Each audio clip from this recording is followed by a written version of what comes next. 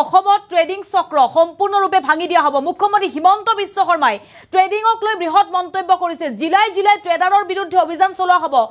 YouTuber সকলো হাৰি নাযাব। ট্ৰেডিঙৰ বিজ্ঞাপন দিয়া ইউটিউবাৰকো হয়তো আৰক্ষীয়ে গ্ৰেপ্তাৰ কৰিব। আৰু মুখ্যমন্ত্ৰী হিমন্ত বিশ্ব শৰ্মাই কঠোৰ সকিয়নি প্ৰদান কৰিছে ট্ৰেডিঙৰ অৰ্থাৎ ট্ৰেডাৰৰ বিৰুদ্ধে। আমি লৈ আহিছো বিশেষ খবৰ। ইজনৰ পাছত আনজনকৈ ট্ৰেডাৰ আৰক্ষীয়ে গ্ৰেপ্তাৰ কৰাৰ পাছতে মুখ্যমন্ত্ৰী হিমন্ত বিশ্ব শৰ্মাৰ নিৰ্দেশনা। অসমত সম্পূৰ্ণ ৰূপত ভাঙি দিয়া হ'ব ট্ৰেডিং চক্ৰ। বৃহৎ মন্তব্য কৰিছে মুখ্যমন্ত্ৰীগৰাকীয়ে। শেহতীয়া অনলাইন ট্ৰেডিঙক লৈ বৃহৎ মন্তব্য মুখ্যমন্ত্ৰী হিমন্ত বিশ্ব শৰ্মাৰ। পৰ্যায়ক্ৰমে জড়িত সকলোকে গ্ৰেপ্তাৰ কৰাৰ নিৰ্দেশনা প্ৰদান কৰিছে অসম আৰক্ষীক মুখ্যমন্ত্ৰীগৰাকীয়ে। বাছি নাযাব অনলাইন ট্ৰেডাৰ আৰু বিজ্ঞাপনকাৰী ইউটিউবাৰ ৰাজ্যৰ জিলাই জিলাই ট্ৰেডাৰৰ বিৰুদ্ধে অভিযানৰ নিৰ্দেশনা প্ৰদান কৰিছে মুখ্যমন্ত্ৰীগৰাকীয়ে। অসম আৰক্ষীয়ে ৰাজ্যৰ জিলাই জিলাই ট্ৰেডাৰৰ বিৰুদ্ধে চলাব অভিযান। প্ৰৰোচনাৰে সাধাৰণ লোকৰ ধন আত্মসাত কৰা সকলো যাব লাগিব জেললৈ। অনলাইন ট্ৰেডিঙৰ জৰিয়তে টকা ডাবল কৰাৰ কোনো ব্যৱস্থা নাই। এনেকুৱা ধৰণৰ ঘটনা এক প্ৰকাৰৰ প্ৰবঞ্চকৰ কাম ফাঁকিবাজিৰ কাম বুলি মন্তব্য কৰিছে মুখ্যমন্ত্ৰী হিমন্ত বিশ্ব শৰ্মাই। আৰু যিসকলে ধন বিনিয়োগ কৰিছে নতুনকৈ ধন বিনিয়োগ কৰা বন্ধ কৰক। ধন বিনিয়োগকাৰীকে আহ্বান মুখ্যমন্ত্ৰী হিমন্ত বিশ্ব শৰ্মাৰ। এয়া সম্পূৰ্ণ ৰূপত আইন বিৰোধী কাম বুলি মন্তব্য কৰিছে মুখ্যমন্ত্ৰীগৰাকীয়ে। এটা ডাঙৰ খবৰ এই মুহূৰ্তত অসম আৰক্ষীয়ে আজি একশ্যন লৈছে। আৰু জিলাই জিলাই অসম আৰক্ষীয়ে চলাব অভিযান। অসম আৰক্ষীয়ে এইবাৰ বৃহৎ অভিযান চলাব জিলাই জিলাই ট্ৰেডাৰৰ বিৰুদ্ধে। অনাগত দিনত পৰ্যায়ক্ৰমে চলিব একশ্যন। একশ্যন মোডত অসম আৰক্ষী অসমত সম্পূৰ্ণ ৰূপত ভাঙি দিয়া হ'ব ট্ৰেডিং চক্ৰ। জিলাই জিলাই অভিযান চলোৱা হ'ব। আৰু প্ৰৰোচনাৰে সাধাৰণ লোকৰ ধন আত্মসাত কৰা সকলো জেললৈ যাব লাগিব বুলি সকিয়নি দিছে মুখ্যমন্ত্ৰী হিমন্ত বিশ্ব শৰ্মা এই মুহূৰ্তত মুখ্যমন্ত্ৰীগৰাকীৰ মন্তব্য আহি পৰিছে। মন্তব্য শুনক। ষ্টক মাৰ্কেটত বিনিয়োগৰ নামত যিসকলে টকা পইচা লৈছে মই সাধাৰণ ৰাইজক জনাব খোজোঁ যে এনেকুৱা কোনো ব্যৱস্থা নাই। আৰু নটাৰী পাব্লিক কৰি যি বোলে আমি ইমান পাৰ্চেণ্ট সুদ দিম। এনেকুৱা এই ধৰণৰ ঘটনা একেবাৰে প্ৰবঞ্চকৰ কাম ফাঁকিবাজি কাম। যিসকলে ধন বিনিয়োগ কৰিছে তেওঁলোকে নতুনকৈ বিনিয়োগ কৰা বন্ধ কৰিব লাগে। এনেকুৱা কোনো ধৰণৰ ষ্টক ব্ৰকাৰ আইনমতে তেওঁলোকে এনেকৈ ষ্টক ব্ৰকিঙৰ কাম কৰিব নোৱাৰে। এইটো একেবাৰে আইন বিৰোধী কাম। আজি পুলিচে একশ্যন লৈছে অহা কেইবাটা দিনত কেইবাটাও দিনত আৰু একশ্যন ল'ব। মই ৰাইজক এটাই অনুৰোধ কৰিম যে ষ্টক মাৰ্কেটত কোনোবাই সোমাব খুজিলে তাত ডিমেট একাউণ্ট খুলিব লাগে তাত এটা পূৰ্ণ ব্যৱস্থা আছে। এনেকৈ ব্ৰকাৰৰ থ্ৰুদি ষ্টক মাৰ্কেটত যোৱাৰ কোনো ৰাস্তা নাথাকে। এই গোটেই ব্যৱস্থাটো এটা ফ্ৰড আৰু এটা প্ৰবঞ্চনা। ইয়াৰ পৰা ৰাইজ সাধাৰণ ৰাইজ আঁতৰি থাকিব লাগে নহ'লে এনেই বহুত টকা ৰাইজৰ ওলাই যাব। এপ এই গোটেই এপবিলাকৰ পৰা আমি দূৰত থাকিব লাগে। আৰু এই এপবিলাকৰ লগত যদি আমি পঢ়োঁ টকা পইচা যাব কোনোতো গেৰেণ্টি নাই যে ইয়াত আমি ঘূৰাই টকা পাম। প্ৰথম কেইদিনমান টকা ঘূৰাই দিয়ে তাৰপিছত নিদিয়া হৈ যায়। সেইকাৰণে ইমান কষ্ট উপাৰ্জিত ধন এইবিলাকত ব্যৱহাৰ আহ, এতিয়া পুলিচে আনুষ্ঠানিকভাৱে কেছ লৈছে। যিহেতু পুলিচে কেছ লৈছে আজিও এৰেষ্ট হৈছে আৰু অহা কিছুমান দিনত এনেকুৱা এৰেষ্ট হৈ থাকিব। আৰু আমি এই গোটেই চক্ৰটো অসমত আমি ভাঙি দিয়াৰ বাবে চেষ্টা কৰিম আৰু আপোনালোকে শুনিছে মুখ্যমন্ত্ৰী হিমন্ত বিশ্ব শৰ্মাৰ মন্তব্য। আগন্তুক দিনত আৰু বহু লোক এৰেষ্ট হ'ব অৰ্থাৎ গ্ৰেপ্তাৰ হ'ব বুলি মন্তব্য কৰিছে মুখ্যমন্ত্ৰীগৰাকীয়ে।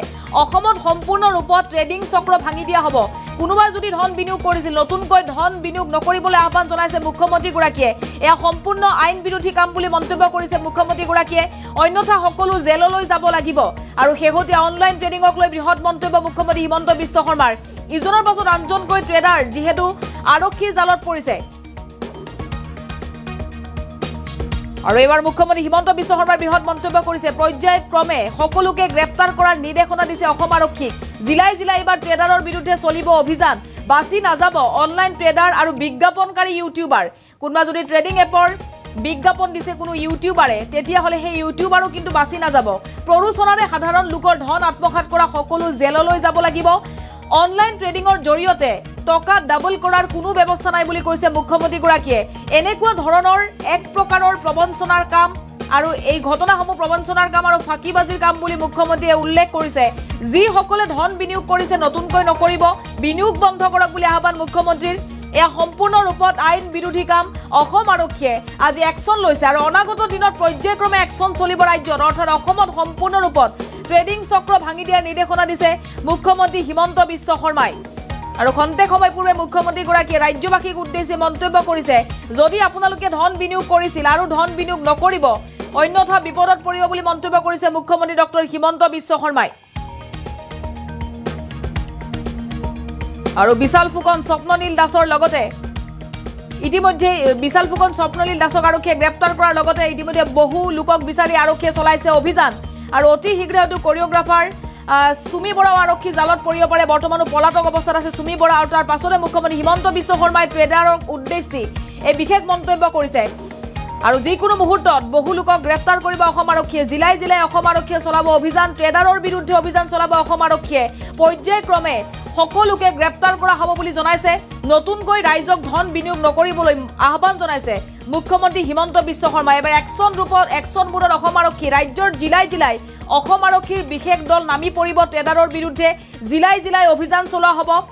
আৰু প্ৰৰোচনাৰে সাধাৰণ লোকৰ ধন যদি কোনো লোকে আত্মসাত কৰিছে সকলো জেললৈ যাব লাগিব।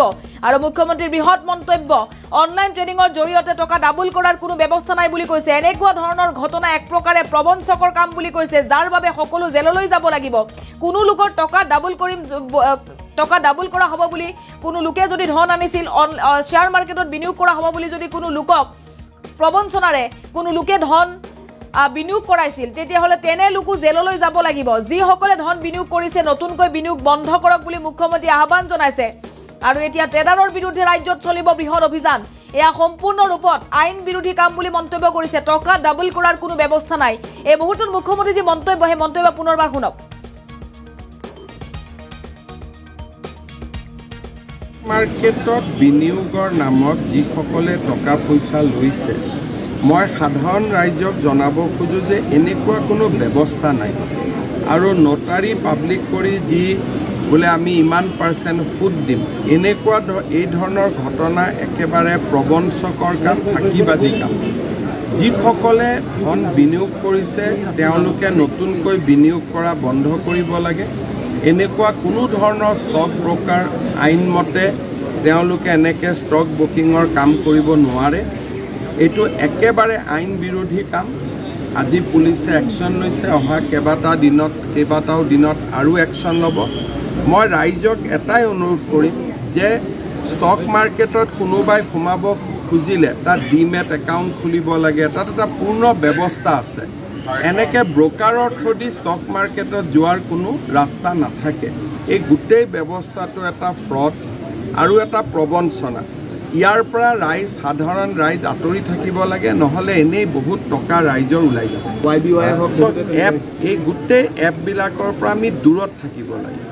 আৰু এই এপবিলাকৰ লগত যদি আমি পঢ়োঁ টকা পইচা যাব কোনোতো গেৰেণ্টি নাই যে ইয়াত আমি ঘূৰাই টকা পাম। প্ৰথম কেইদিনমান টকা ঘূৰাই দিয়ে তাৰপিছত নিদিয়া হৈ যায়।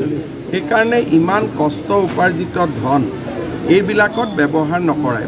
পিছত এতিয়া পুলিচে আনুষ্ঠানিকভাৱে কেছ লৈছে। যিহেতু পুলিচে কেছ লৈছে আজিও এৰেষ্ট হৈছে আৰু অহা কিছুমান দিনত এনেকুৱা এৰেষ্ট হৈ থাকিব আৰু আমি এই গোটেই চক্ৰটো অসমত আমি ভাঙি দিয়াৰ বাবে চেষ্টা কৰিম।